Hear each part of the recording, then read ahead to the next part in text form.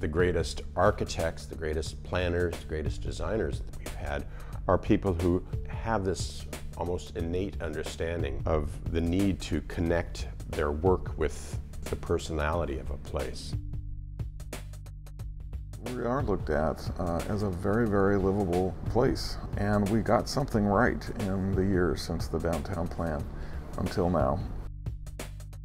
What you're losing is community and stories and history. It's a trade-off for commerce, and uh, it's a position I don't think is in the best interest of Portland in the future.